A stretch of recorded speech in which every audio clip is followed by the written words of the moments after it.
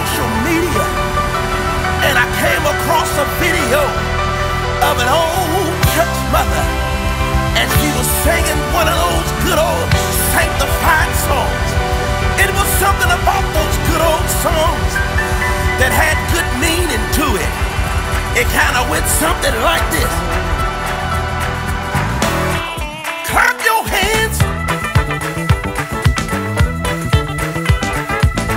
you ain't clapping your hands.